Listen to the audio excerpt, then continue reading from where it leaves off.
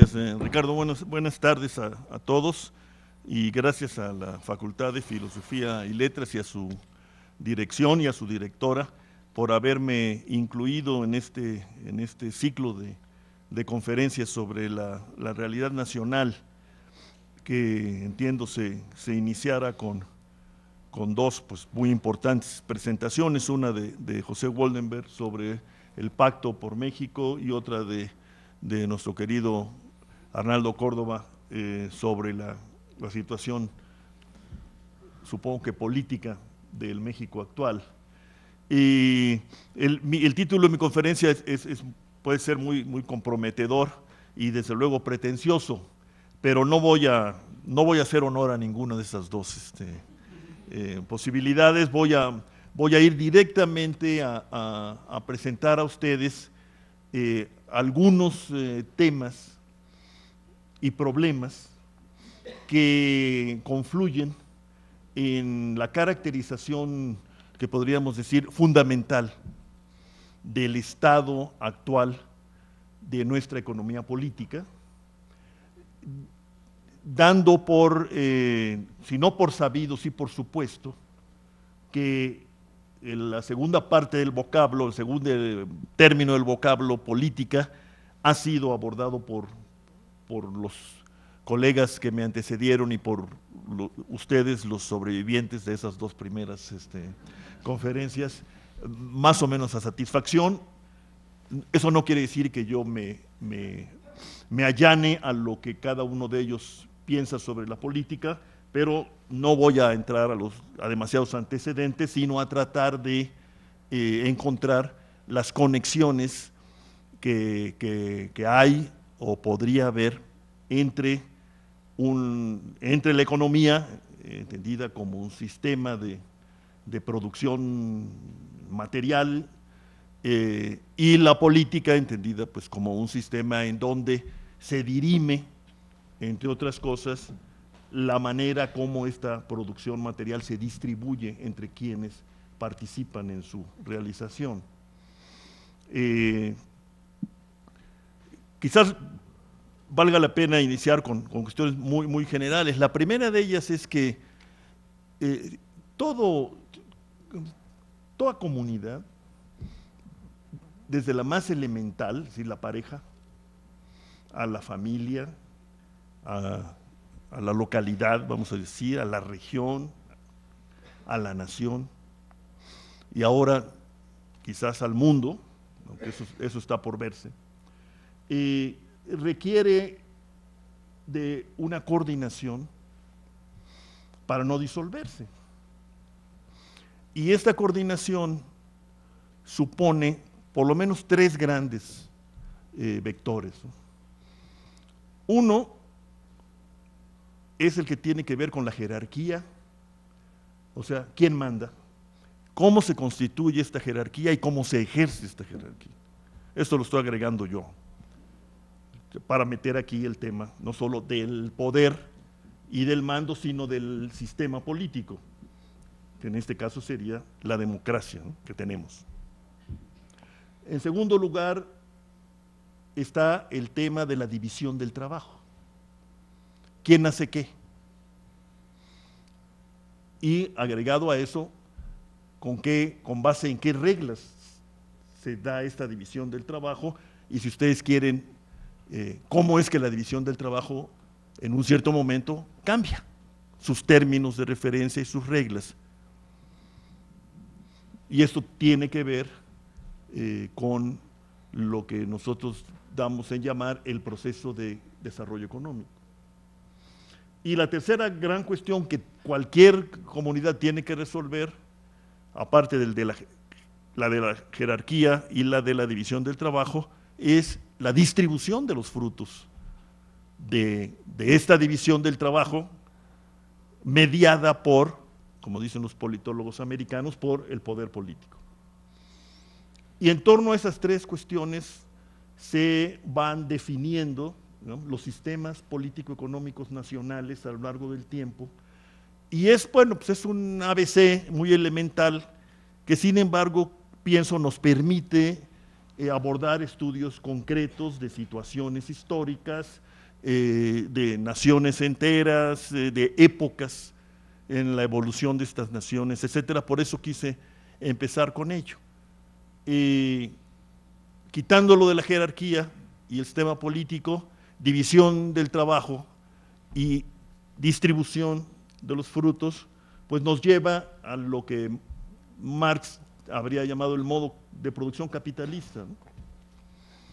Yo creo, sin embargo, que eh, entender el modo de producción capitalista sin introducir dinámicamente el tema de la jerarquía y del mando es insuficiente. Como yo creo que Marx lo hubiera aceptado si es que hubiera vivido, este, vivido junto con Engels, que, creo que lo entendió, digamos, ¿eh? cuando comenzaron a evolucionar los partidos obreros y en particular el, Partido Socialdemócrata alemán, que precisamente incorporó, digamos, ya como una, no como una contingencia o una ocurrencia, sino como una necesidad, el tema del poder político y su disputa, incluso en aquellos tiempos, por vías plurales. Entonces, este, ahí eh, creo que es importante. Bueno, segundo lugar, eh, hay un tema que, en el que estamos, se supone, los economistas más en nuestra casa, que es el tema del desarrollo. Y eh, entendido como un proceso que combina de diferente manera y con diferentes pesos en las naciones y en las épocas,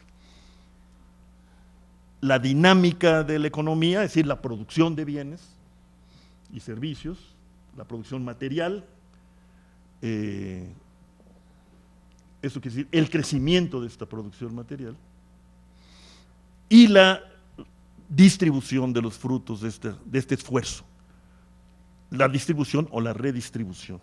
Eso algún colega, para simplificar y poder discutir, digamos, llegó a proponer un día, es Fausto Hernández, un distinguido estudioso de las finanzas públicas, alguna vez en una mesa como esta, de repente dijo, bueno, para simplificar las cosas, desarrollo no es igual a crecimiento, estamos de acuerdo.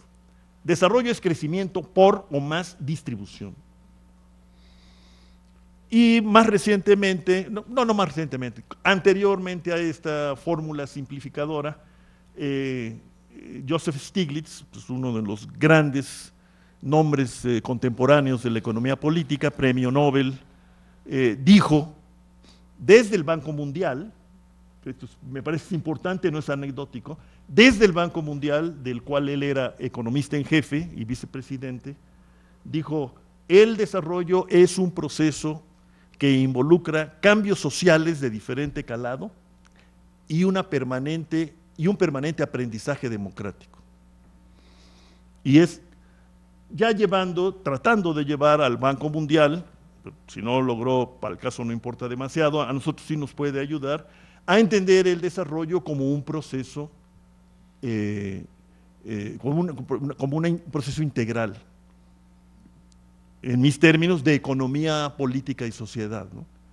Proceso que no se puede entender reduciéndolo a las variables económicas, que es lo que lo que quiero proponerles, y es lo que intentamos, pues eh, algunos o muchos de nosotros, sin mucho éxito, pero lo intentamos y lo seguiremos intentando porque tenemos frente a esta idea, que, que repito, no es una idea en el extremo de la economía política, pero sí es una idea emanada de la economía política, tenemos frente a esto, pues, la otra idea, que es la idea dominante, de que nuestra disciplina pues, eh, tiene que ver con axiomas, con verdades que, se encuentran, no se construyen, y que dan lugar pues, a teoremas inapelables, y que pues, eh, nos refieren al tema del mercado y su, perfección, eh, la eficiencia, y luego pues, lo que llaman, no voy a entrar en eso, las expectativas racionales, que sirven para explicar prácticamente todo, desde el crimen hasta el divorcio. ¿no?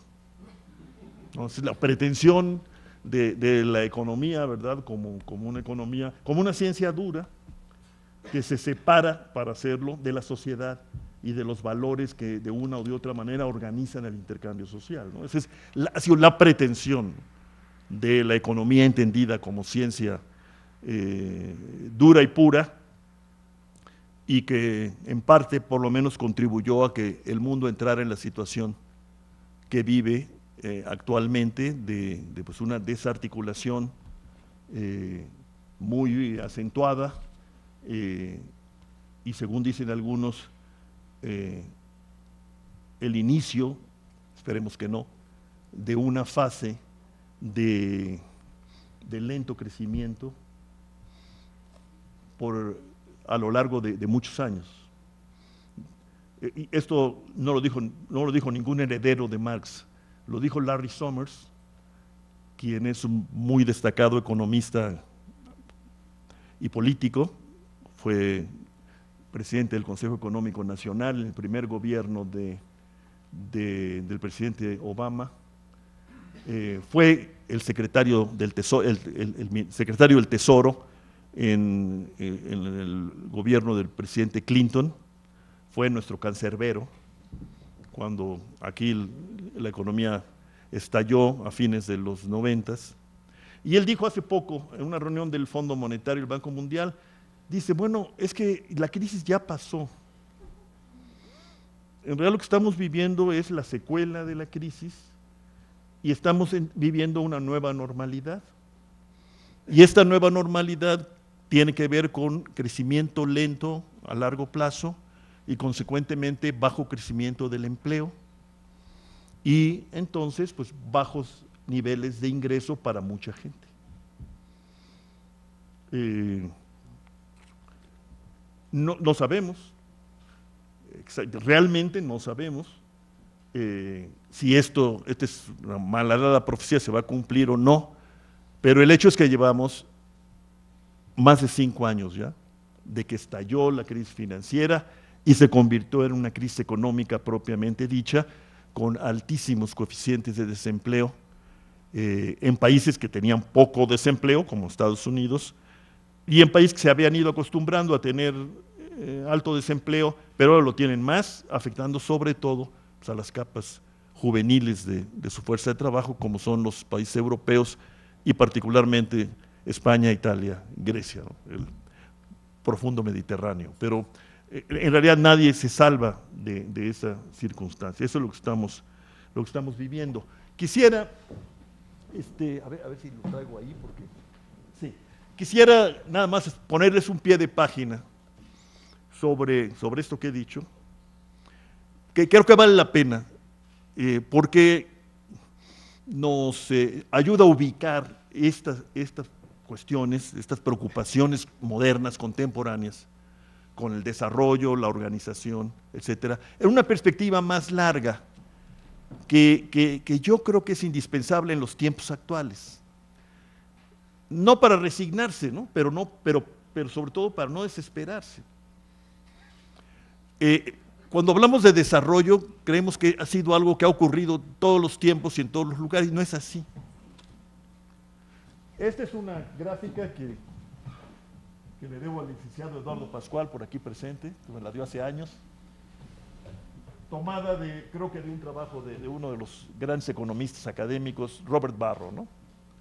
Este, ¿Qué es lo que nos dice? Fíjense, nos dice que de 1200, pero podría ser en el inicio de los tiempos, 1200 a 1850, más o menos, 1800, 30, 40, seis siglos, seis siglos,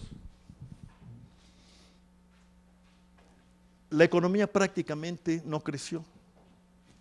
El producto por persona, o el ingreso por persona, se mantuvo, mantuvo más o menos constante. La sociedad producía poco y la gente se moría pronto. Y esto daba daba esta imagen. Es una, es una osadía ¿no? de los colegas economistas hacer esto y aventarse siete siglos y resumirlo en una lira. Yo lo sé, ¿eh? no vayan a regañar, por yo sé. Pero de todas maneras es importante, es importante, nada más para entender algo. el dinamismo que conoció el mundo es un dinamismo que lleva no más de dos siglos. Esto lo quiero decir. Y podemos decir que si así ha ocurrido, no tiene por qué no volver a ocurrir. Si nos vamos a ciclos históricos, ya no de la economía, sino de la vida de las sociedades. Y aquí es donde, ¡pum!, aparece realmente, es la revolución industrial, que luego, mal que bien, desigual y todo, y a través de métodos espeluznantes, ¿no? de violencias, pillaje, eh, etcétera, es decir, colonialismo, imperialismo, etcétera, se extiende al mundo, hasta llegar en nuestros días a la industrialización de Asia y particularmente la reindustrialización en gran escala de China y en segundo lugar de India. Naciones que por allá de los siglos XV, XVI y XVII eran los principales productores manufactureros e industriales del planeta. Lo dejaron de ser por muchas razones y ahora en particular China vuelve, por así decirlo, por sus fueros. Y, se da esta circunstancia. es solamente para ilustrar o para prevenir ¿no? sobre nuestras generalizaciones, somos muy dados nosotros, todas cosas porque los historiadores no nos hacen caso, entonces no. Si pasamos al otro, este, eso lo traté de hacer con México, no, no me quedó muy bien, pero sí da una idea ¿no? de las diferencias. Si nos vamos al siglo XIX, aquí el maestro Gamboa este, nos podría ayudar, eh, como bien han dicho para nuestros fines eh, recientemente Juan Carlos Moreno y Jaime Ross, siglo XIX fue un siglo de, predominantemente de estancamiento económico, de desorden obviamente, de invasiones, de casi pérdida del Estado Nacional que ni siquiera se había constituido plenamente, en fin, y realmente comenzó a modificarse la situación económica en los términos que estoy usando de crecimiento. A partir de 1880 en que llega don Porfirio, ¿no?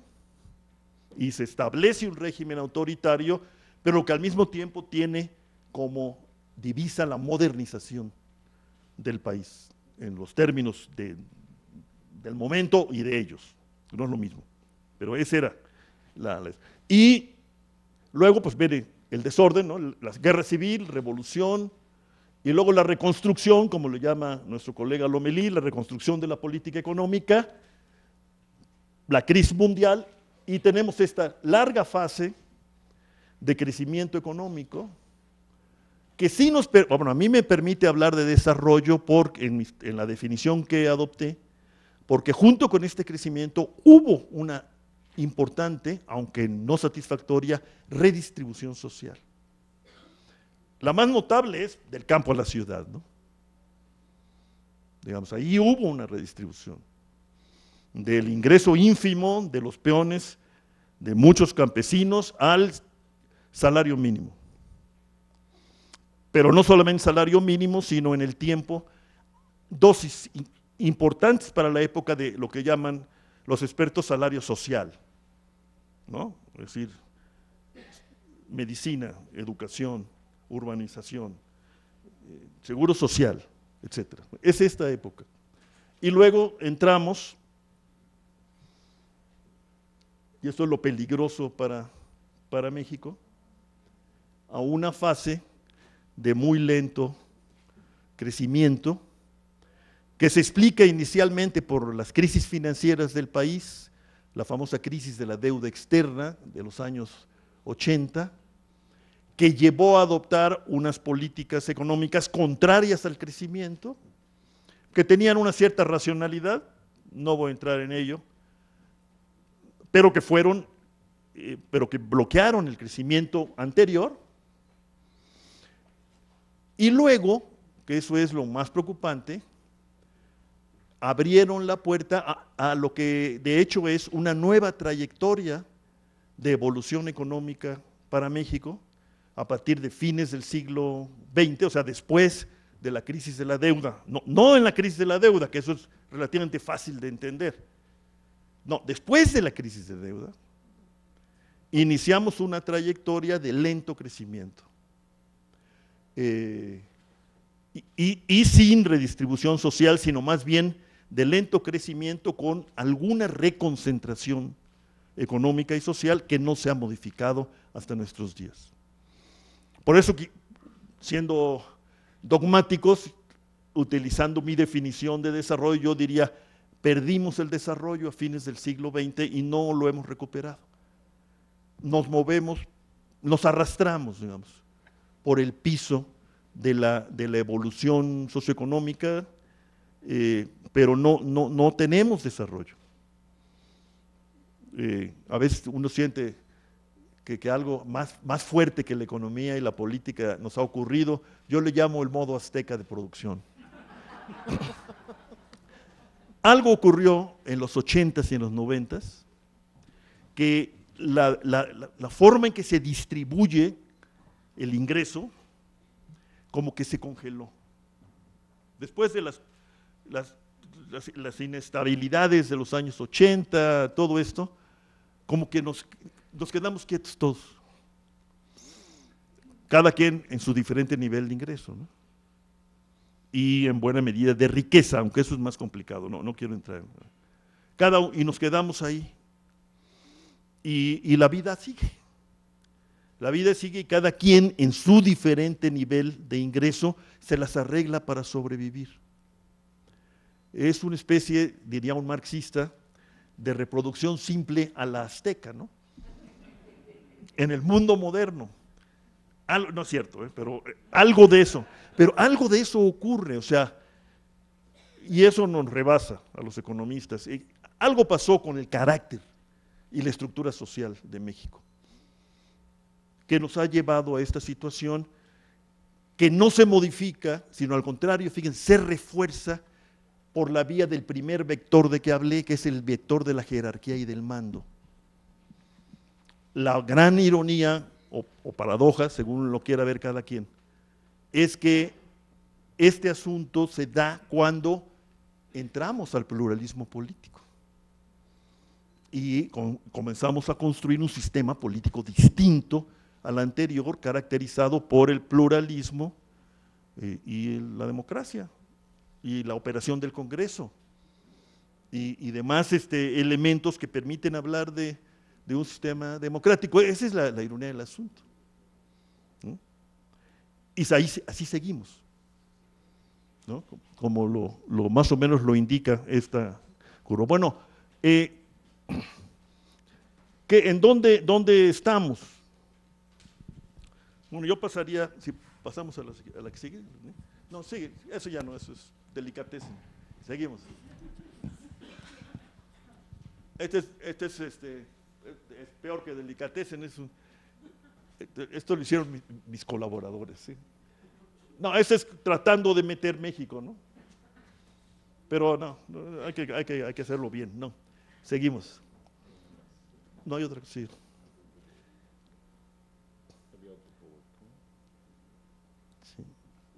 A ver. A ver si...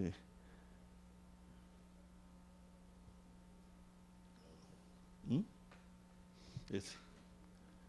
Perdón. Este es un homenaje a un autor que yo, que yo admiro enormemente y que difundo cada vez que puedo, que se llama Carl Polanyi, y que escribió un libro genial en los años 40 del siglo XX, se llama La Gran Transformación, y que es una fuente, me parece a mí, de inspiración este, inagotable. No solo para los economistas, más bien los economistas casi no lo leen, pero, pero para, eh, una, para esta aspiración de crear una ciencia social de raigambre histórica, creo que este, este trabajo es, es obligado. Pero en fin, vamos, ¿no? Este es el esta es la imagen de la que he estado hablando. Así se, así, se, así se comportaba la economía, línea roja, y así empezó a comportarse hasta la fecha, a partir de los años 80, de la gran crisis de la deuda, hasta el 2008, Eh, eso es en términos de qué tasas de crecimiento.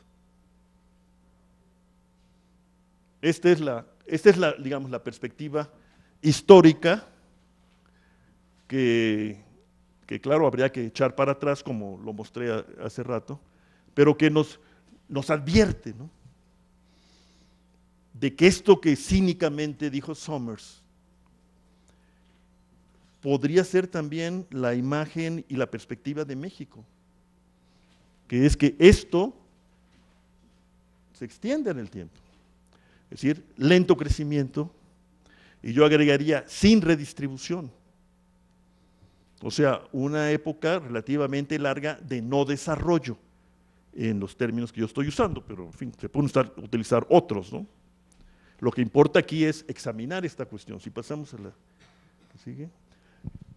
La cuestión es que esto se da en el momento en que lo fundamental de cualquier sociedad cambia en México y cambia significativamente.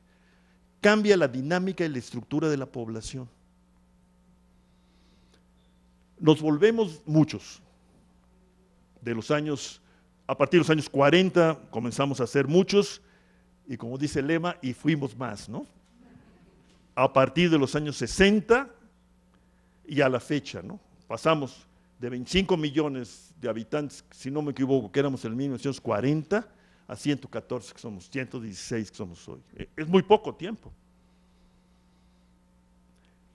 Pero fuimos por un largo rato, hasta los años 70 del siglo XX, lo que Abel Quesada caricaturizaba cada vez que podía, un país de niños,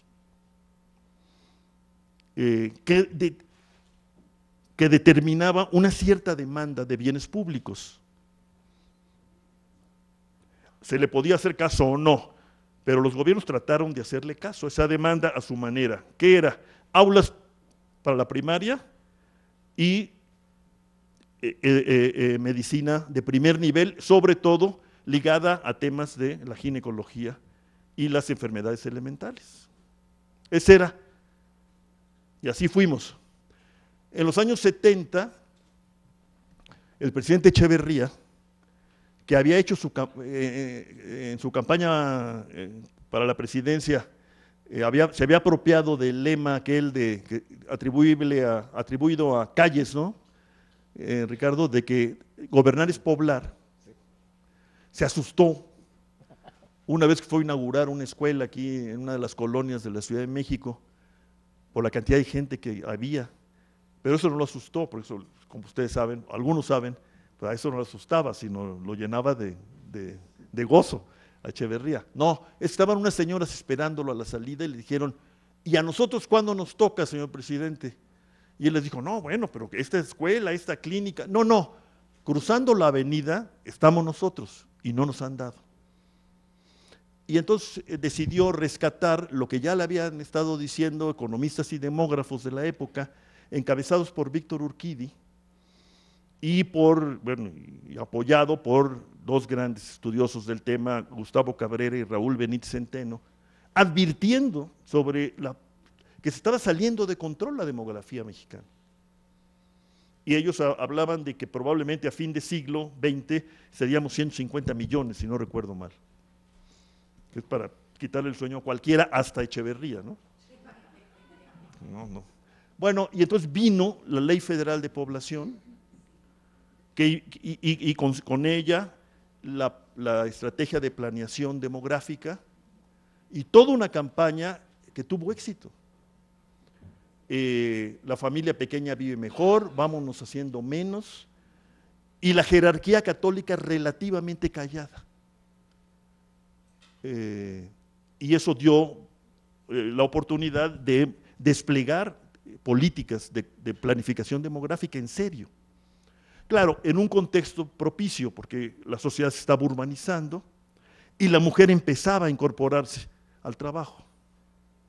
Y combinado eso, pues tuvo como resultado, yo creo que la única política de Estado exitosa de los últimos 40 o 50 años pero que como sabemos, pues todo por servir se acaba, ¿no? Pero, pero lo que quiero decir es, aquí cambió la dinámica y la estructura demográfica, y surgió lo que se dio a llamar el bono demográfico. Entendiendo por este lo siguiente, entramos en una época en la que los que dependen de los que trabajan tienden a ser cada vez menos. Y entonces el ingreso que obtienen los que trabajan se puede gastar en otros fines. Se puede ir al consumo de ellos, de sus familias, etcétera, y no solo a la manutención de los que no trabajan, en aquella época los niños. Pero todavía no nos alcanza el destino y los viejos no somos aún significativos en estos términos.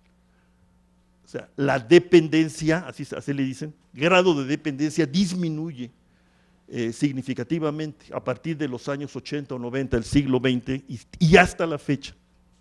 Esto lo quiere decir esa línea azul. Y la teoría, el libro de texto dice, cuando se da esta circunstancia y hay capital, inversión, empresa, hay crecimiento. Y si hay crecimiento económico sostenido, puede haber desarrollo, porque puede haber redistribución.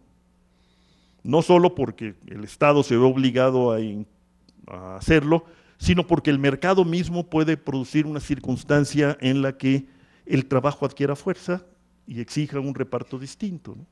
Es la teoría. Bueno, la cuestión es que en esta época, que es la que vivimos, no hay inversión, y no hay crecimiento suficiente como para cachar a los nuevos, eh, a los entrantes a esta escena, que son los jóvenes. ¿Y qué es lo que tenemos? Yo creo que este es el punto que caracteriza nuestra circunstancia. Para mí es el punto a partir del cual hay que tejer todo el cuadro. El punto es un divorcio tajante entre una economía que se transformó, una economía, se convirtió de una economía cerrada en una economía abierta, de una economía con mucha intervención del Estado en una economía de mercado, con poca regulación, que sin embargo no dio el crecimiento necesario para incorporar al otro lado de la ecuación, que es una demografía también transformada, con otras dinámicas. Yo los sintetizo en los niños crecen cada vez menos, los jóvenes crecen cada vez más y ahí hay pues, factores desde luego biológicos, ¿no? pero también crecen en un contexto distinto al que crecieron aquellos niños. Crecen en un contexto de urbanización, apertura, vinculación al mundo y se supone que diversificación de ideas, pluralismo ideológico, etcétera. O sea, se constituye una matriz distinta de demandas a la sociedad, a la economía y al Estado.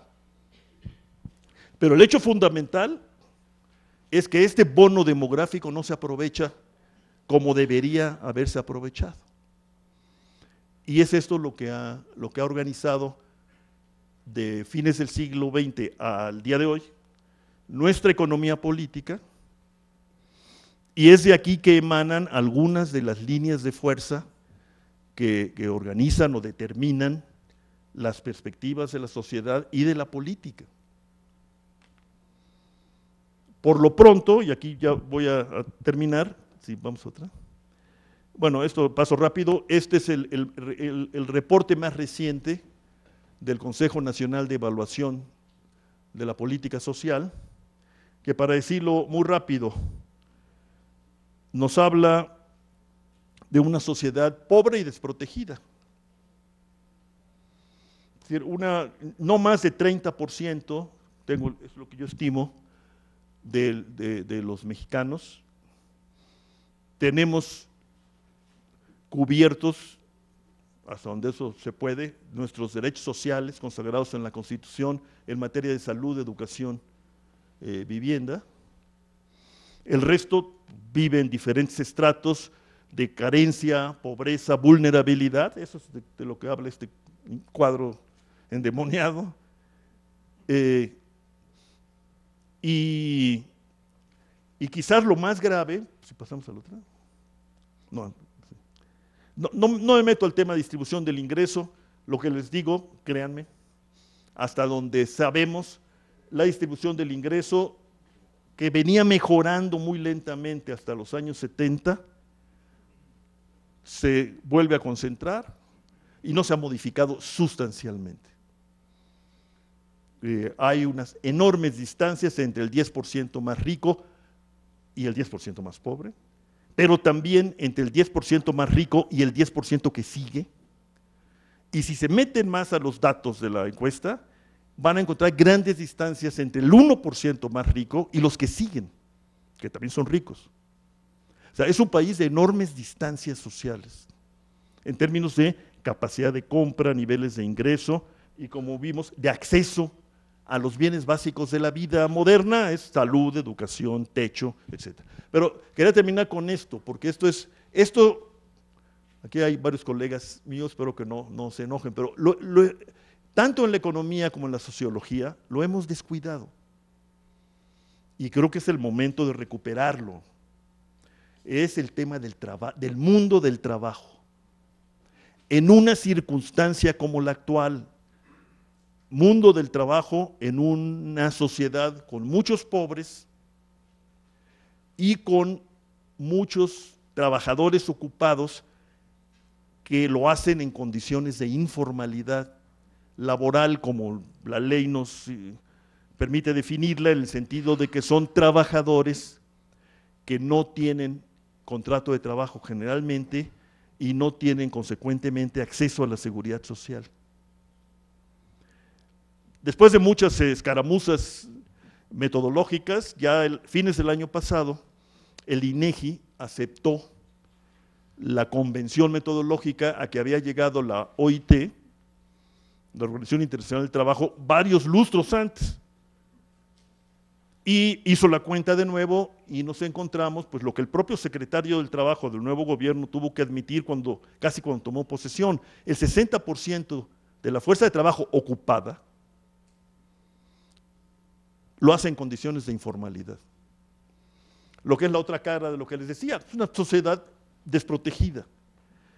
En el núcleo central de una sociedad moderna capitalista, que es el trabajo. ¿no? En otro tipo de sociedades, pues, el pedazo de tierra, ¿no? o el acceso al, bosque, ¿no? o la capacidad de, de, matar dinosaurios puede, puede ser, con eso ya, con eso se asegura la subsistencia y aún la reproducción de la comunidad. En una sociedad como la nuestra, no. El trabajo asalariado es, digamos, constituye el núcleo fundamental del resto de las variables de la vida social. Y en nuestro caso, más de la mitad de este núcleo vive condiciones laborales precarias y endebles. Aun cuando cada quien de los que estamos aquí puede identificar a un informal que no responde a esa caracterización, es decir, que la pasa a todo dar, y que incluso tiene seguros médicos mayores que él sufraga, cada uno de los que estamos aquí tenemos uno, un ejemplo, pero son ejemplos absolutamente este, extravagantes. Son excepciones que confirman la regla. La mayor parte de estos informales viven precariamente en diferentes niveles según les vaya en, la informalidad, ¿no? según los niveles de ingreso que, puedan obtener. Pero eh, esa es la caracterización más general. Pero esto me preocupa mucho porque son 12 años de vida. Es decir, la mitad de una generación. Y fíjense, la mayor, aquí lo que hicimos fue ubicar en diferentes niveles de ingreso equivalentes a uno, dos, tres, cinco salarios mínimos a la población ocupada, no a la desocupada. Y ahí encontramos que no más del, en 2013, solo 8%, 8.4 gana cinco salarios mínimos o más. El 17% gana de 3 a 5 salarios mínimos.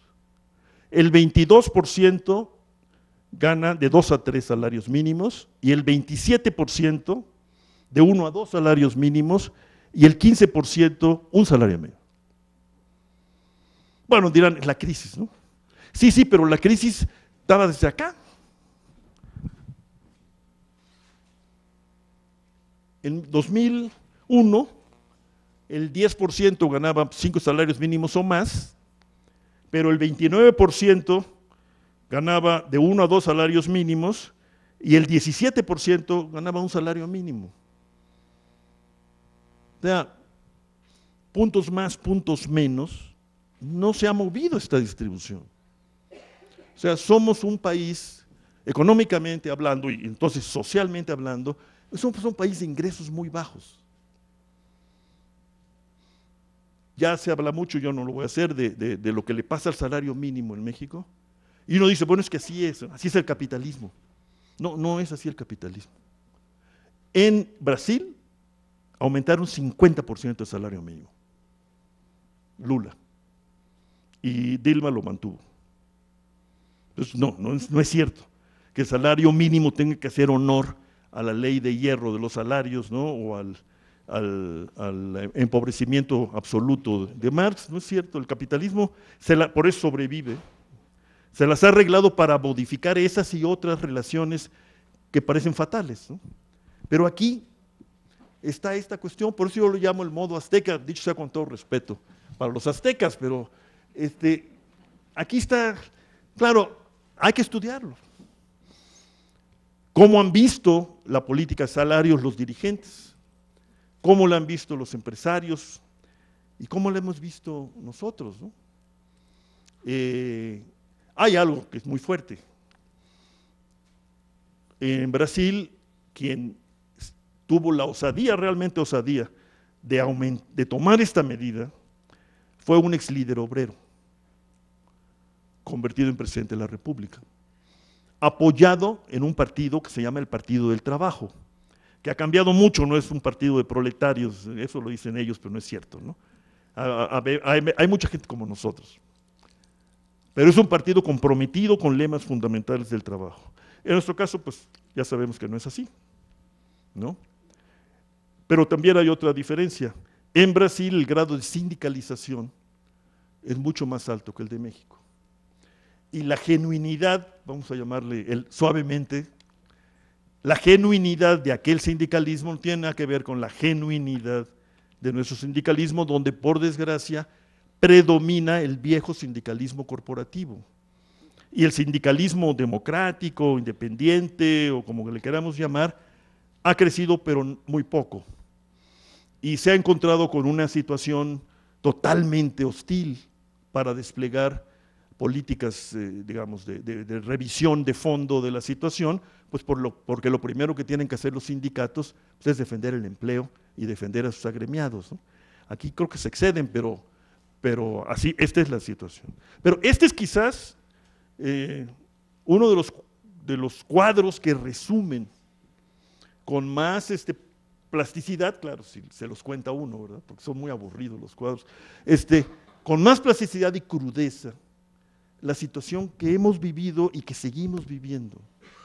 Y aquí la cuestión es preguntarse si la política democrática abre brechas para enfrentar circunstancias de esta naturaleza, eh, aunque sean gradualmente o gradualmente aceleradas, como dice un amigo mío.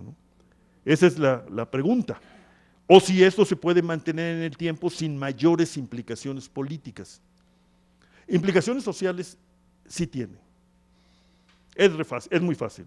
Podemos hablar de la criminalidad, podemos hablar del gran éxodo que paró hace unos cuantos años, pero que duró más de 10 de, mexicanos al exterior, a Estados Unidos, predominantemente urbanos y cada vez más jóvenes. Todo esto expresan, de alguna manera, recogen, sintetizan dramáticamente este cuadro frío, ¿no? Como me lo dijo a mí una vez, ahí donde aprendí este asunto, hace muchos años.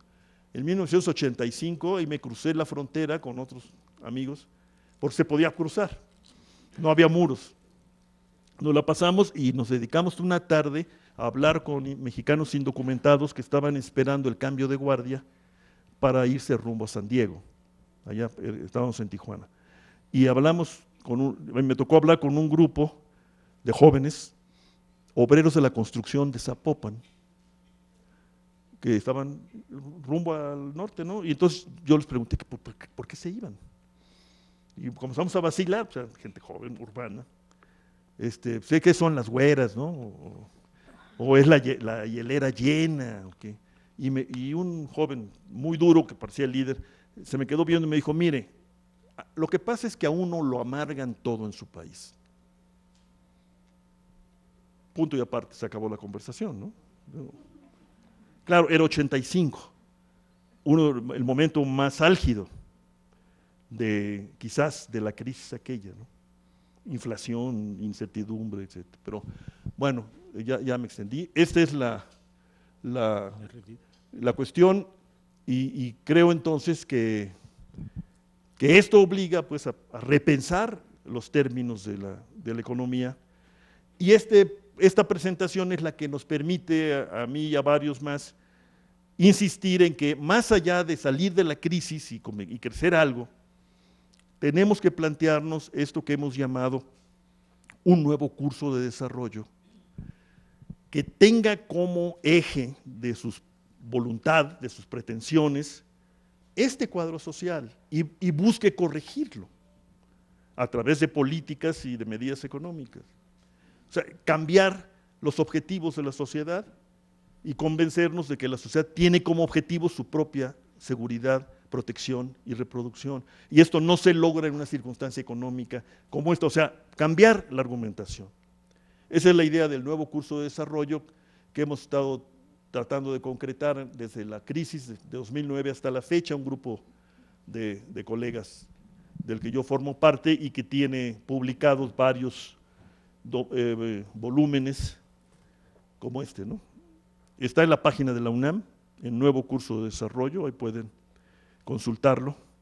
Y, terminaría diciéndoles, bueno, el, el desarrollo del que hablé y que traté de decirles es un fenómeno relativamente nuevo, entre comillas, moderno. También es, yo creo que por eso, una construcción social. O sea, no viene del cielo, eh, no nos desarrollamos porque sí, porque ya nos tocaba si no es una construcción social. Entonces ahí sí las ideas pues pesan mucho. Y en una circunstancia como la nuestra pesan más. De ahí la importancia, ¿no? De, por un lado, redescubrirnos como sociedad, como lo que somos, y por otro lado, pues poner a trabajar la imaginación. Y por eso creo que estas reuniones y coloquios y debates son, son fundamentales. No solamente son un ejercicio académico más, yo creo que son fundamentales, sobre todo si tomamos en cuenta una cosa que no había en aquella época en que nos redescubrimos como sociedad autoritaria y cruel, en 68, 70. En aquella época éramos pocos todavía, los, los privilegiados universitarios. Hoy seguimos siendo privilegiados, pero somos bastante más. Somos más de dos millones de gentes en el país involucradas en, la educación superior es un privilegio al que hay que hacer honor, yo creo. Muchas gracias.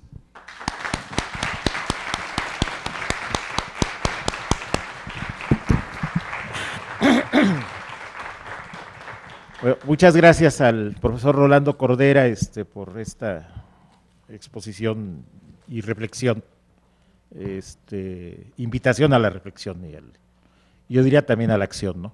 Este, vamos a abrir este, una ronda de preguntas.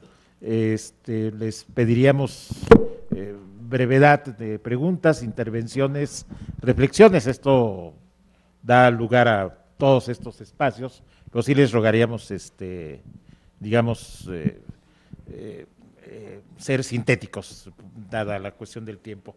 Vamos a anotar primero a cinco personas. Ana Mari Gomis, está este Marco allá arriba, está Gerardo de la Fuente, me dices tu nombre porque... José Luis Flores, sí, sí, sí, y Rafael allá atrás. Vamos a empezar con estos cinco y ya después seguimos. Adelante, Adamari, por favor. A lo mejor es muy ingenua pregunta, pero ¿no se oye? No se oye. ¿Qué pasaría? Sigue sin em, escucharse. No, no se oye nada.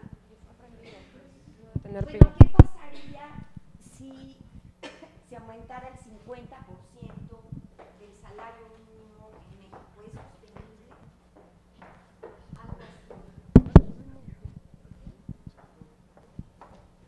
¿Ya es todo, Ana María?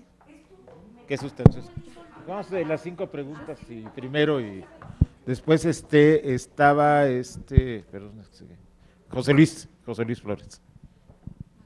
en el nuevo curso de desarrollo, ¿cómo se integran las tan esperadas y ansiadas ref- reformas estructurales? Después Marco, allá arriba, por favor.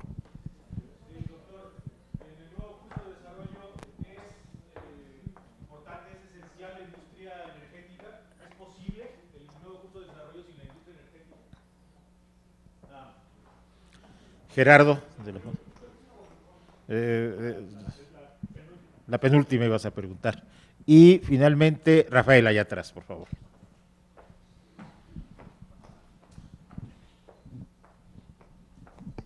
Yo solo agregaría, a- en, en articulación con la pregunta en torno a las reformas estructurales, si en el marco de una crimin- criminalización de la protesta social es posible el carácter social del que hablaba en este nuevo curso de desarrollo.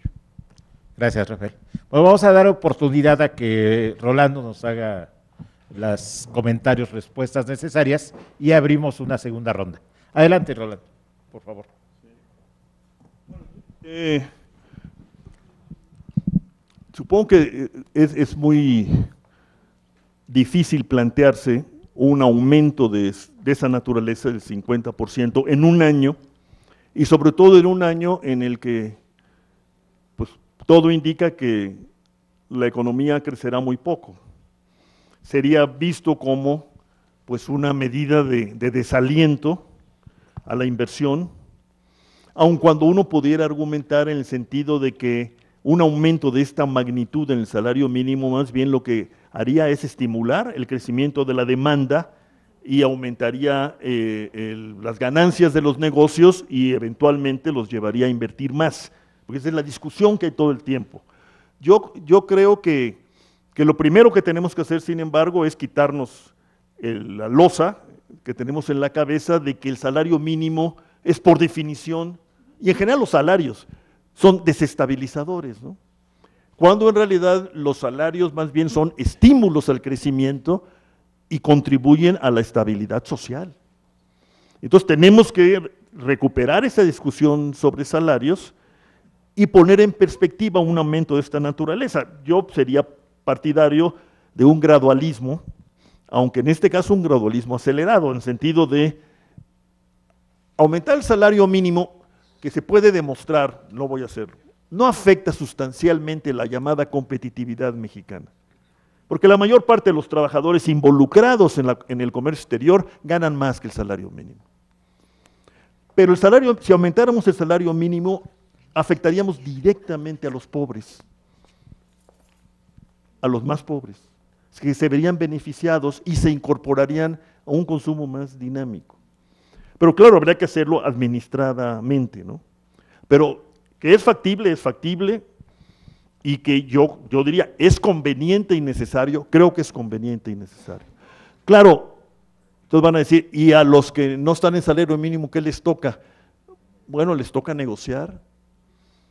Y yo creo que por un cierto lapso, pero esto ya es de mi cosecha, lo que habría que recuperar y, por así decirlo, rehabilitar, es el componente social del salario, que es la seguridad, la salud, la escuela, etcétera, que lo hemos descuidado o, lo hemos eh, distorsionado, ¿no?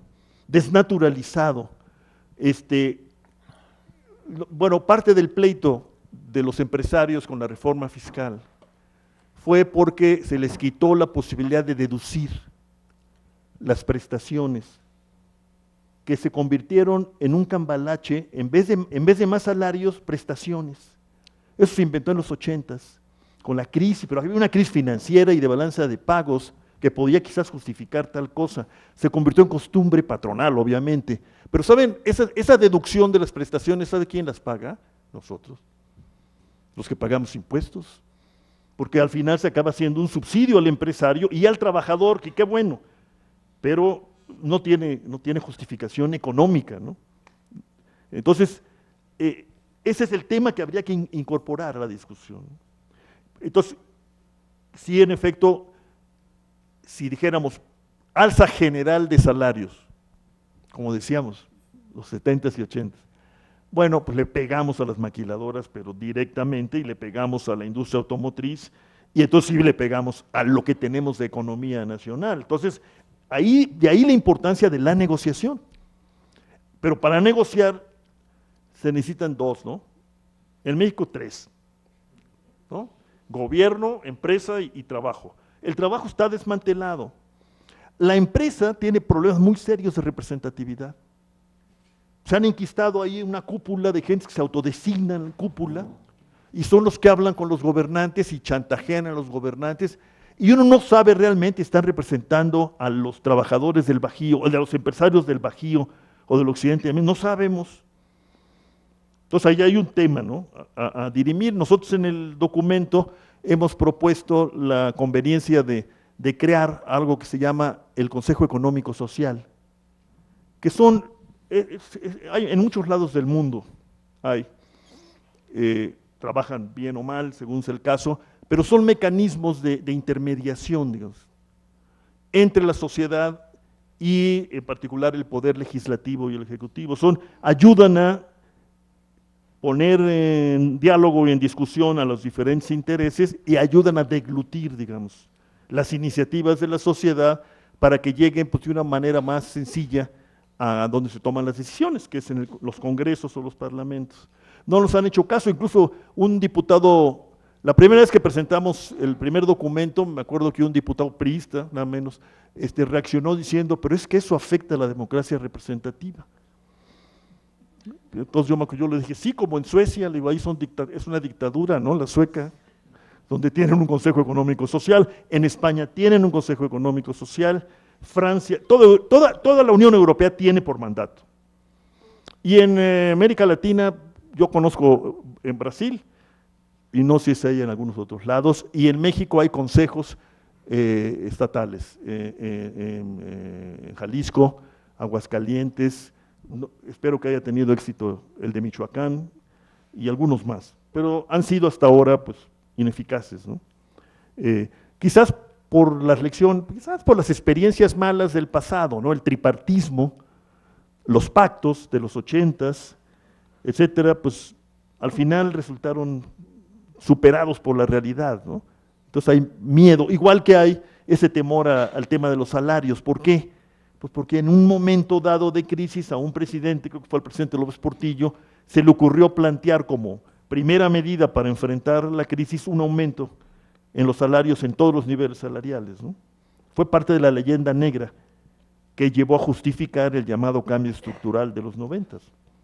¿no? O sea, ahí tenemos que lidiar con muchos estereotipos, imágenes este, de esta naturaleza, que no han quedado atrás, como lo pudimos otra vez observar el año pasado, este, perdón, este año al calor de la discusión fiscal. Todos esos fantasmas volvieron a salir. Un Estado, eh, logro filantrópico y, ya viene la dictadura. El logro filantrópico, en el caso de México, si lo estudiamos en serio, no fue tan filantrópico, fue ogro.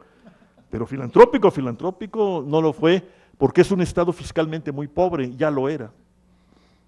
¿No? Entonces era, era más bien generoso con sus cuates. ¿no? ¿No? Eh, las reformas estructurales, bueno, ahí la cuestión es por dónde, eh, dónde se empieza. ¿no? Eh, sistemas como el nuestro, que son los únicos ya que quedan, necesitan estar reformándose todo el tiempo por el cambio mismo del sistema capitalista, ¿no? cambio tecnológico, el cambio demográfico, plantean la necesidad de reformas institucionales o de, como se llaman, de estructura. A veces se hacen por ellas, por, el- por la dinámica misma y causan mucho desorden, mucha dislocación. Entonces, el discurso reformista, pues es- es- es- yo creo que es, eh, acompaña generalmente al desarrollo del capitalismo moderno. A veces tiene éxito, a veces no. A veces se confunden los términos. Una cosa es una reforma capitalista que beneficie a los capitalistas y ya, y, eventualmente a los demás, a una reforma del capitalismo que pone a jugar todo el conjunto de las relaciones sociales, como ocurrió en los años 30 en Estados Unidos con el presidente Roosevelt y en los años 40, después de la guerra, con los estados de bienestar. Lo que en, ese, en esa perspectiva tenemos que ubicar las reformas estructurales concretas que propone hoy el gobierno. Yo pienso que si no tienen, si no hay primero una determinación de objetivos que articulen todo lo demás, en, en este sentido que yo hablé, de crear un estado de bienestar, entonces las reformas se convierten en reformas muy específicas que tienen vida corta y que pueden ser en algunos casos muy nocivas como podría ser una reforma a rajatabla del sistema energético nacional, que por cierto es indispensable para el nuevo curso y para el viejo curso y para cualquier curso que no se nos ocurra, salvo una vuelta atrás acelerada a la, comunidad primitiva. De ahí en más, estas sociedades necesitan de la energía y de la energía masiva, o sea, de usos múltiples y al alcance de todos. Son sociedades energetizadas. La cuestión ahí es otra vez, eh, y, bueno, nosotros en el texto decimos que hay mucho que hacer para recuperar aquella vieja función de la energía mexicana, en particular del petróleo, no solo como proveedor de combustibles baratos y oportunamente, sino como estimulador de una diversificación industrial que se nos extravió en el camino. Es decir, todavía se puede demostrar que Pemex y CFE pueden ser grandes estímulos para un nuevo tipo de industrialización. Por ejemplo, la industrialización que llaman la industrialización verde, ¿no? Buscando el desarrollo y explotación de fuentes alternas de energía, en particular de renovables. Hay mucho que hacer en la energía y podría ser una gran fuente de riqueza, negocios, etcétera. Eh, como lo está pensando Obama, para Estados Unidos. Y los chinos, para ellos y quien se deje, ¿no? China y Estados Unidos son los más agresivos en materia de diversificación energética, por algo será, ¿no? Pero aquí sí, la ley fundamental no es la ley de oferta y la demanda, sino la de Humpty Dumpty, ¿no? Para todo esto lo que importa es saber quién manda. Y ceder espacios importantes de la explotación energética al mercado míticamente concebido, que luego se convierte en un mercado muy concretamente articulado por unas cuantas grandes empresas, puede ser un suicidio. De ahí que yo, por ejemplo, no estoy de acuerdo con la manera en que está fraseado hoy la propuesta de reforma del gobierno de modificar el 28 constitucional. Yo creo que eso sería un, grave error. Y económicamente hablando puede ser una gran tontería. Pero, y volviendo al tema, hay que poner en, orden las reformas en función de grandes objetivos que hay que determinar democráticamente. Yo creo que el punto de partida es la reforma fiscal y hacendaria. Sin eso es difícil caminar a lo demás. Pero a eso la sociedad se ha negado con mucha fuerza y violencia verbal todavía, encabezada por los grandes grupos de poder económico. ¿Por qué ocurre eso? Es de lo que hay que estudiar. Pero, pero esa es la neta, ¿no? Y tenemos una historia muy larga de renuencia social, oligárquicamente dirigida, pero social también. Desde los años 60, ¿eh? medio siglo. Los años 60, una reforma que seguramente los estudiantes entonces hubiéramos considerado tímida, pero que era, podía haber sido muy importante, fue liquidada. Ahí sí dentro de los corredores de la Secretaría de Hacienda, por la vía de la presión de la cúpula empresarial de entonces, la complicidad de una parte de los funcionarios de Hacienda en contra de otros funcionarios de Hacienda que querían hacer la reforma, como Víctor Urquidi, que era la cabeza del grupo, pero también la maestra Efigenia Martínez y, otros, y otros más. Pero yo diría, ¿vamos a hablar de reformas? Sí. Bueno, primero, ¿reformas para qué? Y dos, ¿en qué secuencia y en qué vinculación? Esa debía ser la discusión. Pero, pues vamos a ver, ¿no? Y, lo, bueno, eh, Es que yo creo que la, manera de evitar esta, la criminalización de la cuestión social mexicana es por la vía de un nuevo curso de desarrollo redistributivo y con compromisos claros en materia de distribución del bienestar y de la protección. No hay otra. Si no avanzamos en esa dirección, la cuestión social tenderá a criminalizarse cada vez más. Y lo que es más grave, encarnada esta criminalización en los jóvenes, no en los jóvenes del primero de diciembre, no, en los jóvenes de, de- de- de- de donde están la vida y la muerte. Ese es el drama, la tragedia que estamos viviendo cotidianamente. Eh, la criminalización de la protesta social pues, es otra. Yo la verdad es que hay mucha pataleta en los medios, mucha agresividad contra los protestantes, hay mucha injustificada, en mi opinión, pero por otro lado también es indispensable ponernos a discutir de nuevo el tema del orden político y social en una democracia. Que El gobierno tiene que respetar la ley y los derechos humanos, pero nosotros también. Y, eso es algo que, que no se discute fácilmente. ¿no? Yo, por ejemplo, pienso que al momento mm, es generalizar demasiado hablar de que hay una criminalización de la protesta social como política general. A lo mejor es, es que no quiero aceptarlo, porque la verdad son palabras muy fuertes esas. Eh, nosotros sí vivimos, las generaciones anteriores, sí vivimos algún tipo de criminalización de la protesta política, pero también social, lo vivieron Demetrio Vallejo y Valentín Campa, vivieron 10 años presos injustamente. Eso es criminalizar la... pro- ¿Por qué? Porque quisieron sindicatos democráticos y se enfrentaron al gobierno y fueron al bote. Pero eso fue generalizado, yo pienso que no, ni siquiera en aquella época, que era una época de partido único, o prácticamente único. Yo no sé si, si una criminalización como estrategia pueda tener eh, eficacia en un país como el que estamos viviendo a pesar de todo. No, realmente no lo sé. Pero sí diría, para responder directamente, no creo que esa sea, eso sea lo dominante en la escena política y social de México. Puede serlo, sí, sí, puede ser, es un riesgo y una tentación. Hay gente que cree que con eso la hacemos, ¿no? y yo creo que más bien la deshacemos, ¿no? pero será cuestión de- de Hay otras dos solicitudes, podemos contener tres ahora. Este, ¿Cómo te llamas? Perdón. Sí, Silvia.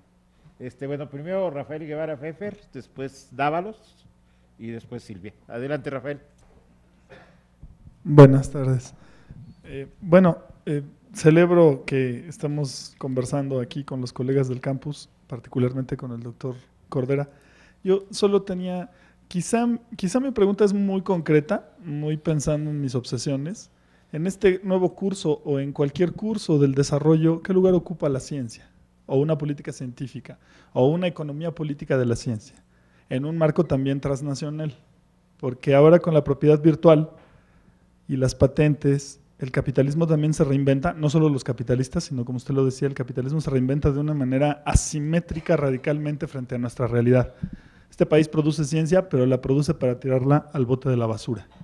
Es decir, en el, en el sentido del desarrollo, no en el sentido de que produzca algunas ideas interesantes. Y eso me preocupa, me inquieta. En el sentido de, por ejemplo, los años que usted tocaba, nace el CONACIT, ya llevamos, es más viejo que yo el CONACIT y de desarrollo nada. Y si, y si pensamos en el INIVIC desde los 40, el Instituto Nacional de Investigaciones también. Entonces, quizá es su opinión ¿no? respecto a este tema, donde, donde ahora grandes colaboradores o grandes pensadores latinoamericanos como Ebe Besuri que venían diciendo hay que meter lana para hacer desarrollo, ahora pues ya dudan, porque después de tantos años de meterle lana a la ciencia para hacer desarrollo, pues no hay desarrollo. Entonces, esa es una pregunta como de un interés más personal. Y, y, sobre la disertación que hoy nos hablaba, eh, pensaba yo en, usted lo dice un poco, como el estado de bienestar tenía varios objetivos, ¿no? Recordaba a Marshall cuando en los derechos sociales diría, eh, ¿quién, ¿quién va a pagar los costos para que esta desigualdad, para ser ciudadanos, porque finalmente, vistos los números que nos presenta, pues es muy difícil con tal desigualdad concurrir a una república, ¿no? Sí es espantoso el cuadro, una vez que se desabstrae, como lo plantea, La abstracción es fantástica porque uno no ve sangre, sudor y lágrimas, pero si uno le va siguiendo el argumento, sí estamos muy, estamos muy mal, ¿no? Es decir, aunque sigue siendo abstracto, ¿no? No es que salga la sangre por aquí, pero, pero sí nos permite vernos en un mundo terrible. Entonces, eh, pues quizá es eso, ¿no? Quizá quién va a pagar los costos y, usted lo dice y no lo dice ahorita, ya lleva años diciéndolo, la reforma fiscal es la prioridad, porque, porque es lo más importante, aunque no sea lo más urgente, ¿no? Y, y ya nada más un, par de comentarios más, es que cuando hablaba de que en esta época de los dinosaurios, bueno, no había humanos y dinosaurios, pero pienso que podría ad- adaptar el ejemplo con ballenas, ¿no? Es decir, bastaba con matar una ballena para vivir varios años, varias, una década bien en algunos lugares como, como Islandia o algún lugar así, ¿no? Pero bueno, eso, eso nada más es, eso era un comentario. Gracias. El profesor Dávalos allá atrás, eh, alza la, la manita Dávalos para que te den el micrófono.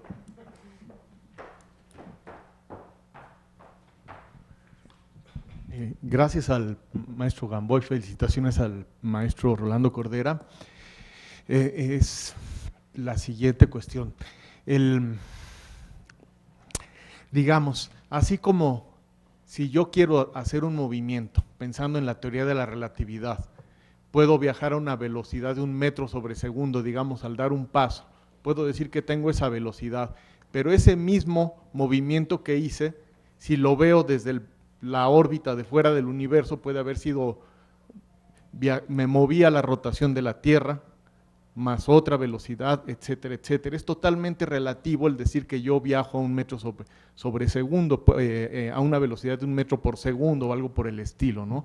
Totalmente relativo. ¿Y qué tiene que ver con la cuestión que se está hablando?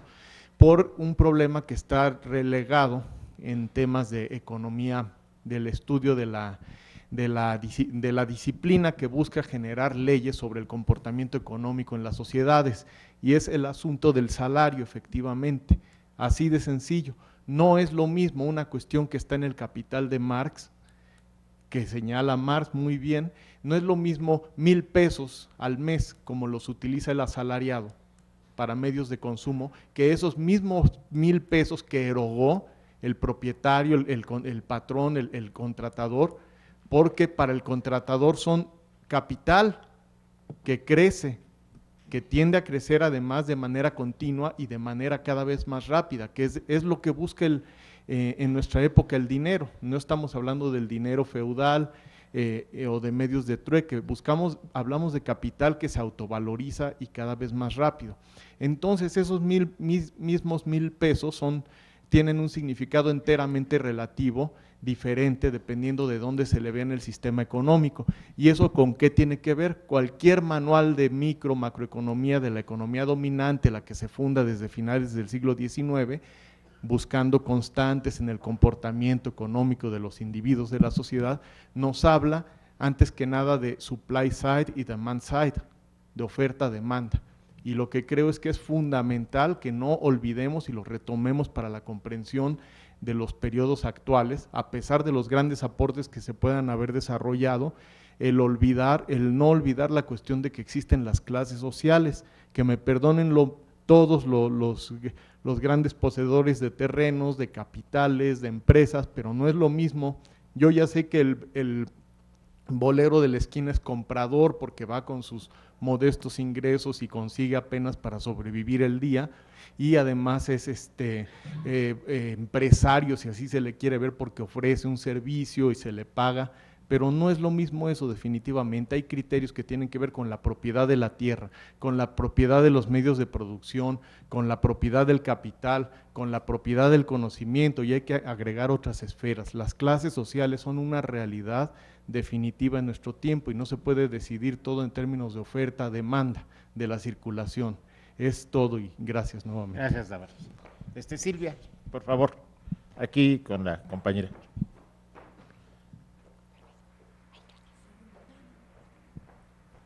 Adelante, Silvia. Gracias, maestro. Gracias, Rolando.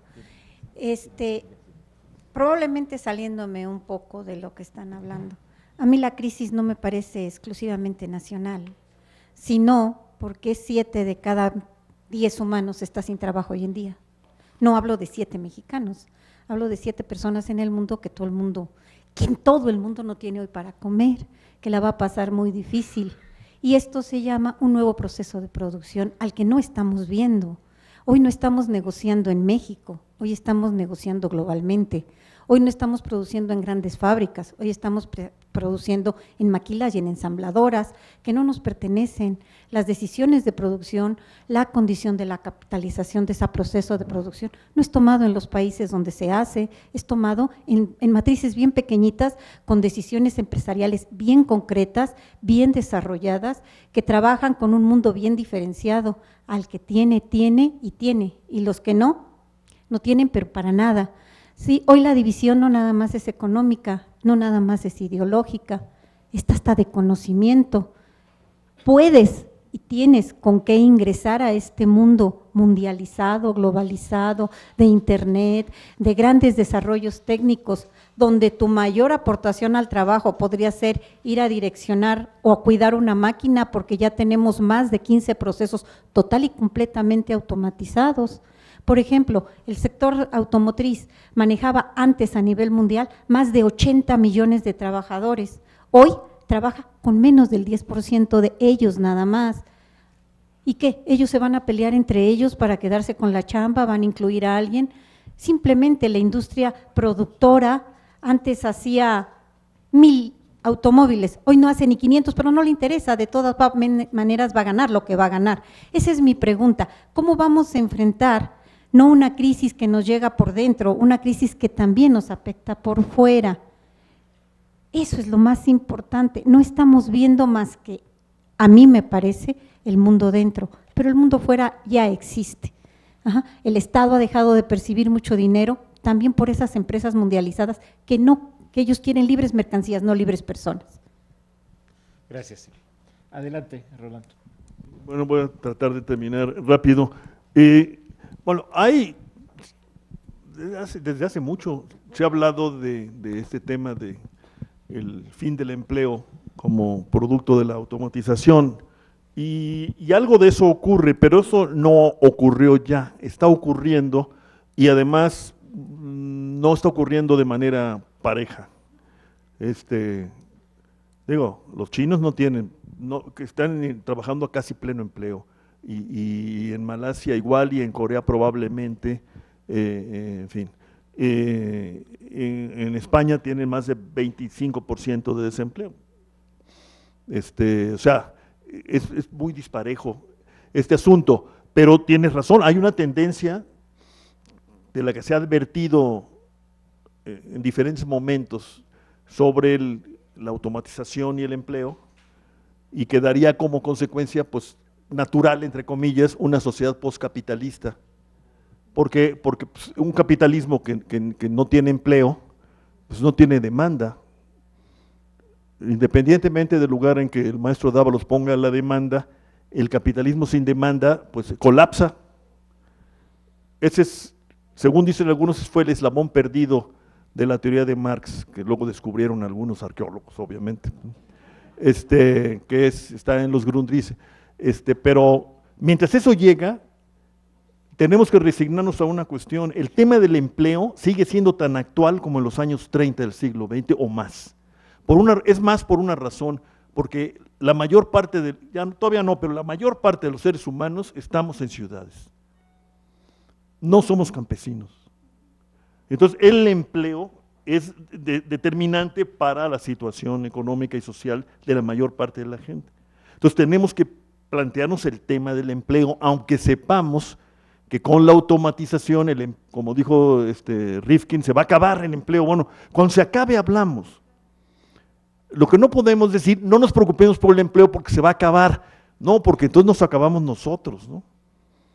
Es sí es una discusión muy importante que que hay que volver a tener, pero yo creo que la preocupación central de, la discusión política en torno a la crisis es la del empleo y si quieres, prepararnos para esa eventual llegada del no empleo.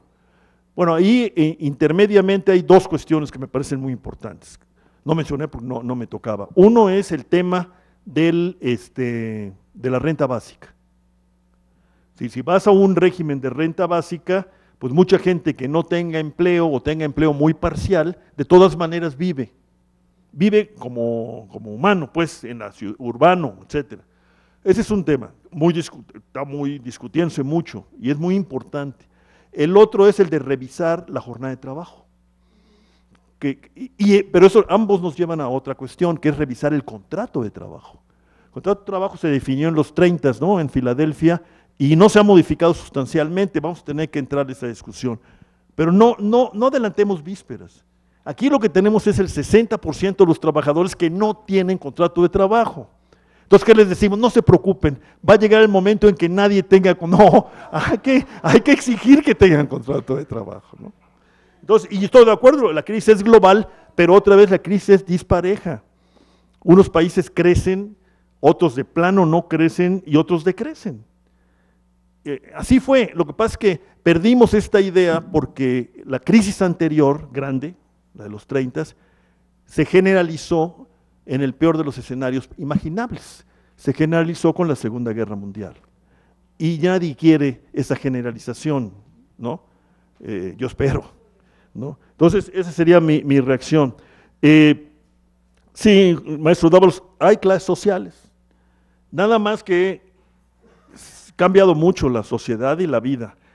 Y, me permitiría recordarle aquello que le atribuyen a Jean-Paul Sartre en, esta casa, nada menos. Decía Sartre, para que haya lucha de clases se requieren dos cosas. Una, que haya clases. Dos, que luchen. y, y lo que tenemos hoy es una cosa rara, ¿no? De, en efecto hay una lucha de clases, pero hay una lucha de clases declarada por los capitalistas contra el resto. Y como dijo este señor este, eh, Warren Buffett, si hay lucha de clases, nada más que la, que está ganando la, lucha es la mía, ¿no? Ese es la- el asunto. Es decir, el debilitamiento de la otra clase fundamental en los términos marxistas este, es algo que, que todavía tenemos que explicarnos y, y ubicar bien, ¿no? ¿Por qué? Por la automación nada más, por la diversificación del mundo, por China. China debilitó al movimiento obrero americano, ¿sí o no? Sí, Sí, o, más bien fue el gran pretexto de los capitalistas americanos para obligar al, al sindicalismo, igual que los, los alemanes. Los alemanes dijeron, o se aplacan o nos vamos. Y se aplacaron, no, no se fueron. Por, por eso Alemania es la que menos sufrió en la crisis actual. No se fueron, llegaron a acuerdos, lograron un cierto nivel de empleo que prácticamente ningún otro país grande de Europa tiene. Pero ahora ya otra vez dijeron, ya nos vamos. Entonces, ese es el juego. ¿no? Es parte de esta lucha de clases que se da en lo fiscal también, muy fuertemente. Ahora, en términos ya de lo otro, de lo fundamental, yo estoy de acuerdo, ¿no? En un país como los nuestros no, puede, no podemos soslayar el tema de la oferta y de la acumulación de capital. Eso, por cierto, lo, dijo muy bien Prebisch en los 50 del siglo XX, criticando al keynesianismo ingenuo. Pero también es evidente en el caso de México, creo que se puede probar, que parte de este pésimo desempeño se explica porque la demanda se canceló con los salarios, con la desocupación y con el énfasis en la exportación. Entonces la demanda importa, y importa mucho en ciertas coyunturas. Y, a Rafael, este, no, yo estoy de acuerdo con, en, en el documento, si lo ves, le dedicamos bastantes párrafos, propuestas al tema de ciencia y tecnología. Nos arriesgamos a algo que, que hace unos años pues, era tabú en el mundo tuyo, no en el mío. Eh, hay que vincular, buscar vincular por la vía de las políticas a la investigación científica y la producción. Eh, La producción en su sentido más amplio con la empresa y con el Estado. Y vincular la investigación en el plano, por ejemplo, de los proyectos. No se hacen proyectos en México y hay que hacerlos. Y ahí los científicos tienen un papel muy, muy importante. Pero los científicos van a tener que aceptar al- alguna vez que aquella negación rotunda al tema de las prioridades este, no fue muy acertado por una razón, porque las prioridades se impusieron de cualquier manera, nada más que sin su participación. Alguien las determinó. Yo digo que las determinó para variar la Secretaría de Hacienda. ¿eh? Eh, pero, pero, este, pero yo creo que, pero, exactamente, así es, bueno. Entonces, yo creo que sí es fundamental, incluso en las condiciones de relativo subdesarrollo que vivimos, el tema de ciencia y tecnología tiene que recuperarse y ponerse en el centro, como tiene que ponerse en el centro el tema de la educación superior. En el caso mexicano, ambos nos van a llevar a una, a una cosa muy triste. Descuidamos, los estamos aquí presentes y nuestros este, pares, de- descuidamos el tema de la educación básica, dándola por resuelta, y no está resuelta. Y no vamos a poder tener un buen aparato científico, tecnológico y de investigación eh, sobre una educación básica realmente viviendo condiciones de, de- de- gran, gran preocupación, yo diría casi de emergencia. ¿no? Entonces tenemos que entrar, yo diría, tenemos que recuperar el tema educativo para el tema del desarrollo y desde luego para el tema de la democracia. ¿no? Y, y bueno, terminaría, ah, ah no, decía, este, es la manera de, digamos, más, más segura, pero a medio y largo plazo, de inscribirnos en una globalización que pueda ser diferente. Ahí sí, yo, estaría total, totalmente de acuerdo. Ayer tuvimos algunos la, la fortuna de escuchar a un, a un, a un eh, profesor investigador indio de la Universidad de Nehru, se llama Arun Kumar, este, que bueno, es muy gandiano, pero al mismo tiempo es un tipo de mucha economía política y demás, y, insistió mucho no se trata de volver a Gandhi, pero se trata de poner, eh, actualizar el gran principio de Gandhi para la sociedad india, y que dice así, según él, el principio fundamental es last comes first. O sea, la última persona en la escala es, debe ser el primero. Y en función de sus necesidades, todo, definimos todo lo demás. Se dice fácil, ¿no? Pero a mí me parece fantástico, como principio, ¿no? Habría que tratar de aplicárnoslo en esta sociedad extraña que es la, que es la nuestra. ¿no? Que pues, pues muchas gracias. Muchas ¿eh? gracias. Bueno, le agradecemos mucho al maestro eh, Rolando Cordera, estimado Rolando, este, su presencia aquí, su invitación a la reflexión. Este, aprovecho la ocasión para recordarles que esto fue el preámbulo para un foro, un primer foro de reflexión humanística sobre la realidad nacional. La convocatoria a participar en este foro está en la página de la facultad. Les invitamos a, a todos ustedes, sean o no de nuestra comunidad, a estar atentos a estos trabajos, porque creo que con ello estamos cumpliendo, como señalaba hace rato Rolando, una de nuestras misiones esenciales, a lo cual nos debemos, ¿no? Ante la sociedad del pueblo mexicano. Muchas gracias por su asistencia. Yo quería terminar Sí. con un comercial. Otro comercial. que siempre le planteo a Gloria, se lo planteé antes a, a nuestro querido amigo Azuela, Arturo. Nosotros, en realidad, al final todos los economistas, unos lo dicen y otros no, sabemos que la nuestra se origina, nuestra disciplina se origina en la filosofía moral de Hume y de Smith. Y bueno, y ahí tuvo luego muchas evoluciones y, y es la que se ha encargado de alimentar nuestros pleitos eh, seculares.